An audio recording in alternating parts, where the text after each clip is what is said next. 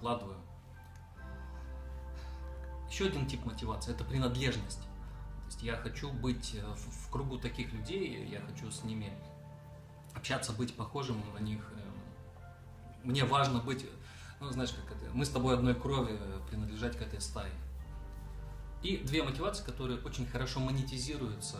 Это мотивация на достижение чего-то, когда человек думает, так, я это перепрыгну, я это преодолею, мы откроем 10 филиалов, мы заработаем там столько-то денег к концу отчетного периода, перевыполним план и там дадим 105 плавок дополнительных. И э, мотивация на власть. То есть я хочу этим управлять, я здесь буду самым главным. А если нет, то либо я буду не здесь, либо я буду там, где я смогу быть самым главным. Вот то, что касается бизнес-молодости, они молодцы в том, что они нашли свою аудиторию, и их аудитория по мотивации – это мотивация принадлежности. Мы хотим быть вот в этом кругу, мы хотим общаться, ну, грубо говоря, такая тусовка.